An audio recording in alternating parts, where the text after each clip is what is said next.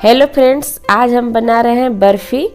बर्फ़ी बनाना सबको बहुत ही ज़्यादा डिफ़िकल्ट लगता है, लेकिन हम इसे बहुत ही इजी तरीके से बनाने वाले हैं। ये बर्फ़ी आपको बिल्कुल मावा की बर्फ़ी जैसा लगेगा तो आप भी इसे बनाइएगा। इसको बनाने के लिए हमने लिया है चार ब्रेड तो चारों ब्रेड को हम क्या करेंगे? किनारे से काट काट के निकाल देंगे और इसे मिक्सी जार में छोटे छोटे तोड़ करके डाल लेंगे। आप चाहे तो बड़े टुकड़े करके भी पीस सकते हैं, लेकिन छोटे टुकड़े करने से जल्दी पीस जाएगा, इसलिए मैं छोटा टुकड़ा कर रही हूँ। तो देखिए, हमारा ये ग्राइंड हो गया है। अब हम इसे बाउल में निकाल लेंगे और इसको एक साइड में रख देंगे। अब फिर चलेंगे इसे कुकिंग करने के तरफ़। तो कुकिंग करने के लिए हमने लिया है फ्राइंग पैन में हाफ़ कप मिल्क मेज़रमेंट आप अच्छे से समझ लीजिएगा, क्योंकि हम इसी क्वांटिटी में बनाना है। अगर आपका ब्रेड ज़्यादा हो तो उस हिसाब से आप मिल्क डालेंगे। तो हमने लिया है हाफ़ कप मिल्क और इसको हम बॉयल होने देंगे। तो देखिए हमारा मिल्क ये बॉयल हो गया है। अब हम इसे स्पेटूला से चलाते हुए इसको गाढ़ा करेंगे। हमें इसे इतना गाढ़ा करना है कि ये रबड़ी के फॉर्म में आ जाए।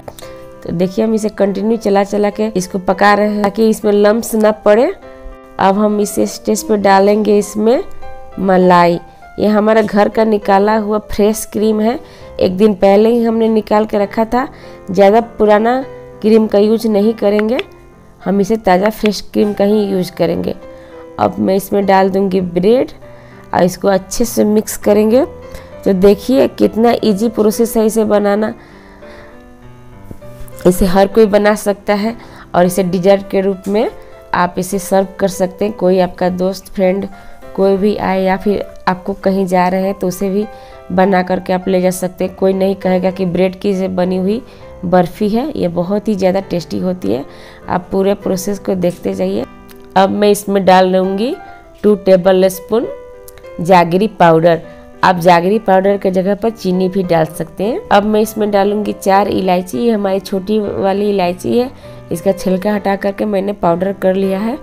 अब इन सबको डाल करके हम अच्छे से मिक्स करेंगे, ताकि ये थोड़ा सा चलाते हुए हमारा ये जो मिक्सचर है वो सॉफ्ट हो जाए, हलवा के फॉर्म में आ जाए। तो देखिए हमारा मिक्सचर हलवा के फॉर्म में आ गया है।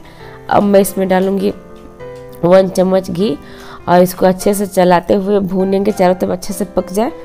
इसको चलाते हुए, पकाते हुए हमें टेन मिनट्स तक इसे भूनना है।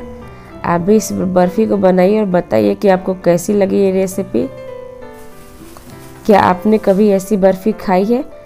हमने इधर प्लेट में लगा लिया है थोड़ा सा घी और इस पर अपने मिक्सचर को डालेंगे और इसको हाथों से दबा दबा करके ऐसे सेट करेंगे।